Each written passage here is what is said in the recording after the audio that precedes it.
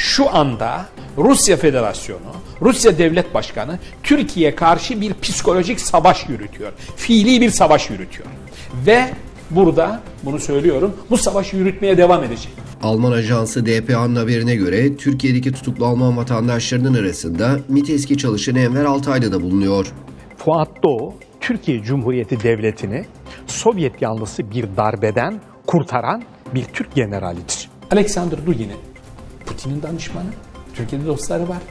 Efendim, Türkiye'ye gelmiş, konferans vermiş vesaire şeylerle, bir takım askerlerle de bizim o Ergenekon'da tutuklu, onlarla da irtibatı var. Efendim Doğu Perinçek'le, o grupla, Kemal Alemdaroğlu vesaire bunlarla irtibat var. Konferanslara çağırmışlar, kendileri gitmişler vesaire. İran'la birlikte dikkat edin Orta Asya ve Orta Doğu'ya hakim olacağız. Açın Putin'in danışmanı Dugin'in kitabını okuyun. Buraya hakim olacağız. Şimdi dikkat edin İran'ın şeydeki Orta Doğu'daki şey faaliyetleri. 73 yaşındaki Altaylı'nın kızı DPA'ya yaptığı açıklamada hakkındaki terör suçlamalarından ötürü geçen yıl Ağustos ayında gözaltına alınan Enver Altaylı'nın şu anda Sincan cezaevinde tek kişilik hücrede tutulduğunu söyledi. Aile üyeleri Altaylı hakkında henüz iddianame hazırlanmadığını açıkladı. Hadi bak.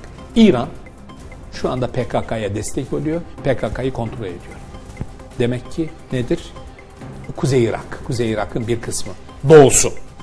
Ondan sonra geliyorsunuz işte ne var? Talabani grubu var. Talabani %100 İran'ın kontrolünde. Yani Talabani öldükten sonra efendim onun yerine geçenler İran'la beraber izliyorlar. Türkiye'nin, Türklerin canı cehenneme. Söyledikleri bu. Orada Goran diye bir grup var. Bunlar böyle söylüyorlar. Hem Türk hem de Alman vatandaşlığı bulunan ve Türkiye'deki cadı avında tutuklanan Enver Altaylı'nın ailesi Alman hükümetine çağrıda bulundu. Altaylı hakkında hizmet hareketine yakın olduğu suçlaması bulunduğunu belirten kızı, Alman hükümetinin babamın salı verilmesi ve dava sürecinin hızlandırılması için daha çok çaba sarf etmesini istiyoruz dedi. PYD İran kontrolünde her şeye rağmen Rusların kontrolünde. Ondan sonra kim geliyor? Esad geliyor. Esed. O. Ondan sonra Hizbullah.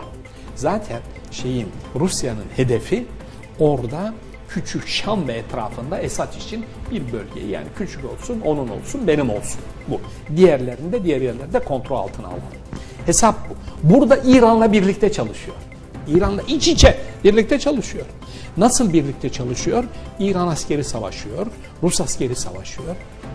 Ve birlikte Türkiye karşı bir psikolojik, aynı zamanda psikolojik savaş yürütüyor.